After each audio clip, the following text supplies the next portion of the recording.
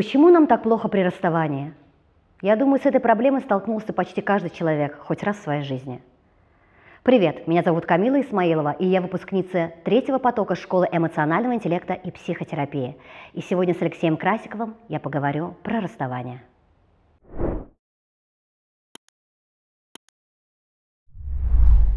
Алексей, привет.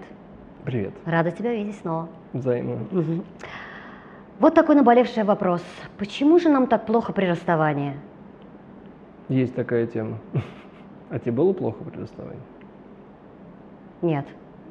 Представляешь, не было. 17-19. Не билась головой об кафель? Нет, у меня была влюбленность, но чтобы мы просто не расставались, потому что мы не встречались даже.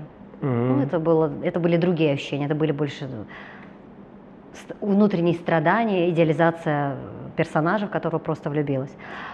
Так Но действительно, многие люди очень тяжело переживают расставание. Я бы сказал, что это очень симптоматично. То есть, если человек тяжело переживает расставание, то это прям такой яркий сигнал, яркий прям флаг красный, прям краснющий флаг о том, что нужно работать со специалистом. В норме э, адекватная, ну скажем так, забалансированная, стабильная психика, она может испытывать эмоции, она может какое-то время горевать, переживать, испытывать э, подавленность, но адаптируется и движется дальше. Если мы застреваем и нам прям люто тяжело, это проблема. Это первое. Второе, почему такое происходит? Ведь наш головной мозг не видит Василия или Свету на самом-то деле. Да? Головной, наш мозг помнит наши ощущения, наши эмоции. И когда какой-то Василий или Света закрывает наши очень важные психологические и психосексуальные потребности, для мозга это такое совпадение, а, которое заставляет выбрасывать огромное количество эндорфинов, эмоций, и он запоминает объект Василий, там, Светлана, да, как объект, при котором человек получает определенные эмоции. Например, безопасность, заботу, комфорт, спокойствие, удовлетворение, э, гордость, э, зависть и прочие закрытые сексуальные, эмоциональные потребности. Например, девочки могут очень сильно нуждаться в такой вот безопасности, в брутальной защите, в таком вот ощущении комфорта, а, мальчики могут нуждаться в том, чтобы вот он наконец-то с ним девочка, которую он показывает всем, она вот такая, или она очень заботливая, как мама, или он о ней заботится, как о дочке, а, или девочка, которая встретила наконец-то папу, который наконец-то они, там, доченька моя, ты проснулась, поела, пописала, покакала, значит, это все, я тебе все сделаю. То есть там очень много психологических фишек, которые на самом деле э, влетают внутрь нас, а если он еще и трахается классно, или она, и тут вообще все совпадает, и для мозга это настолько сильное совпадение, что потом, когда этот человек пропадает, мозг начинает прям люто э, страдать, потому что он хочет эти эмоции. И нам кажется, что это связано напрямую прям с человеком, с человеком. На самом деле это про эмоции, это про заполненность, это про безопасность, это про одиночество, это про состояние. То есть мы скучаем на самом деле по состоянию.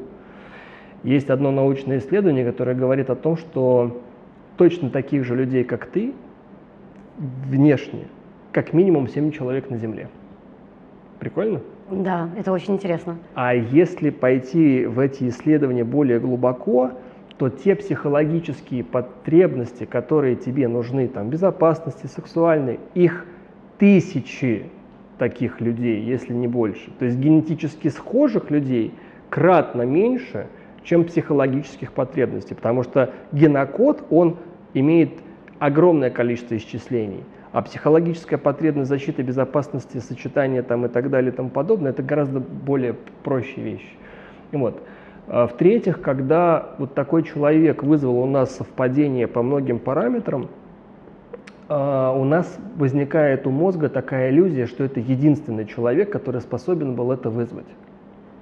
И мы здесь иногда поддаемся в эту иллюзию и блокируем другие варианты. То есть мы начинаем думать, что вот только Василий Иванов или там Маша Голопупенко, да, только она способна была вызвать у нас такие чувства. И мы сами закрываемся от э, других вариантов. Мы продали себе идею, что она одна единственная, он один единственный, и мы больше не видим. и мы закрываемся. В то же время действительно бывает так, что у человека специфические психосексуальные, психологические потребности. И действительно бывает так, что именно Вася Иванов закрывал вот именно вот в, таком, вот в такой комбинации. Но опять же, если быть открытым к разным людям, то вы увидите, что таких людей немало. А больше всего вас удивит, что вы увидите, что есть люди, которые еще круче могут закрыть ваши особенности. Главное, насколько вы открыты к тому, чтобы люди приходили в вашу жизнь. Если вы сами закрываетесь и тащите вот прошлое, угу. то вы не даете себе разглядеть то, что есть вокруг. А я вообще все время говорил, что а, если быть широко открытыми глазами и смотреть на реальность, как вот она есть, и быть открытым к людям и к возможностям, то вы удивитесь, как много людей, которые ну, которых вы не замечаете. Вот, например, девочка там в 19 лет там, влюбилась в Колю. Все, значит, Коля, вот он только один закрыл ее потребности. И она не видит вообще больше никаких вариантов. Не потому что их нет, а потому что она их не видит, потому что она их не хочет видеть. Вот у нее в голове Коля, а все, осиновый кол, значит, там, вошел, э, да, вот, и все, и вот только Коля. Алексей Юрьевич, ну бывает и такой вариант, когда не закрывает никаких потребностей. Вот пример моей близкой подруги, которая прожила в отношениях с мужчиной, который ее э, унижал, оскорблял, ни, никакую потребность ни сексуальную, ни финансовую, но она как страдалица была в этих отношениях и несла их как свой крест. Ну. Вот, что это? Все очень просто то же самое. У нее была потребность в таких отношениях, в таких А, страданиях. значит, это потребность. Конечно. Вот такой. Смотри, вот все, как бы они ни рассказывали, это все про эмоции. Угу. Мы э, привыкаем к... Вот есть даже вот люди, которые любят острую еду. Она вызывает привыкание, потому что действие капсаицина на определенные рецепторы, угу. капсаицин это тот э, элемент, да, тот алкалоид, который вызывает жжение. То есть это обманка мозга. Капсаицин действует на определенные рецепторы, мозг думает, что тебе налили кипяток в рот. Так возникает ощущение жара. Угу. Но я отдельно могу про это рассказывать. И вот точно так же мы думаем, наш мозг думает, что этот человек, э, он у нас вызывает определенные эмоции. И вот то, что ты говоришь про подругу, это и есть ее потребность. И если я ей дам умного, хорошего, тактильного, не бьет, не пьет, не курит, значит, утром приходит, все, значит, цветы дарит. Она скажет, что это не ее человек, ей плохо будет с ним. Она так скажет? Конечно. Она такого не выберет. Она выберет э, как раз такого, с которым будет вот такой вот, знаешь, экшен, и вот в этом ее и есть потребность. Вот как раз таки и проверим, потому что она сейчас вроде вышла из отношений, и у нее именно такой хороший парень и появился. И мне вот интересно, сколько они протянут, судя по тому, что вы сказали. Очень даже интересно тут, посмотреть. Может быть, момент, э, может быть, она как-то в терапии с этим э, начала обходиться, и, может быть, как раз ее терапевт, да, в ее терапии немножечко подсветил эти вещи – и она в терапии, меняясь в терапии, начинает меняться и в жизни. Угу. Но если этого не было... Было, было. Вот, да, соответственно, но если этого не было, она продаст себе идею про другого человека, скорее всего, это будет не ее. Угу. Поэтому вот эти все вещи, это все равно про потребность. То же самое касается сексуальной потребности, то же самое касается сексуальной перверзии, сексуальные там какие-то особенности, сексуальные фетиши, моральные вот эти эмоциональные качели, уйти, прийти, там трусы в 3 часа ночи по чемоданам, значит, потом мы помирились, потом мы расстались. Это потребности. Люди играют в это, потому что это их капсаицин, это их алкалоид, это их эмоции, это их, э, это их, это их нейромедиаторы. Человек в поисках эмоций, он все время будет Человек раскачивать. постоянно в поисках эмоций, в поиске удовлетворения, и большинство людей лучше себя чувствуют в шторме, чем в штиле. Да, они могут жаловаться на этот шторм, да, они могут жаловаться на плохой там, период и так далее, но все равно они очень часто нуждаются в этом экшене.